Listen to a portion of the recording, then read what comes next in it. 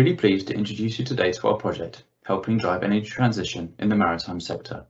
The project entails the development of the design concept for a floating hydrogen production storage barge, which would generate hydrogen via electrolysis from renewable energy. This could include solar and offshore or onshore wind, which could be sourced from the national grid or directly from local generation projects when they become available. The hydrogen would then be provided as a clean fuel for vessels and port consumers. The project is being developed by a consortium of companies led by Longitude Engineering, part of the AqualisBraemar LOC Group, together with AqualisBraemar LOC London, Long Green Hydrogen Solutions and Poole Harbour Commissioners. Using Poole Harbour as a case study, the objective is to design a concept which can be easily translated and deployed to ports and harbours around the world, providing a simple, cost-effective and green solution to maritime decarbonisation. Carbon emissions in the maritime sector are still growing year on year as the industry continues to grow. Therefore, the decarbonisation of the sector has an important role to play in the global race to net zero.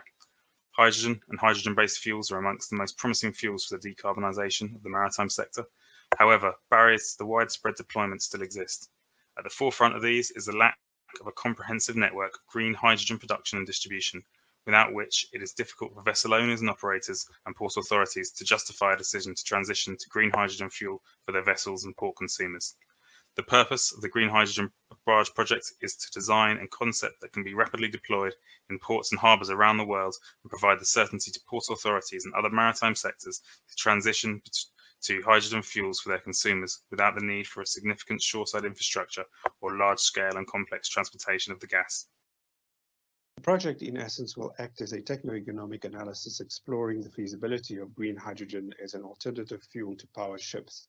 It will demonstrate the opportunity and commercial viability of the fuel's emission-free route to market, harnessing clean energy from locally available resources, converting it to hydrogen via electrolysis, storing it at a port, and finally transferring it to bunkering vessels. We're really pleased to be working with Poole Harbour on this pilot innovation, whose involvement reflects the UK port's leading standpoint in evaluating port energy demand and establishing a route to decarbonisation project will be completed in March 2022, and the results of which will be shared with the UK Department of Transport and Innovate UK for immediate deployment.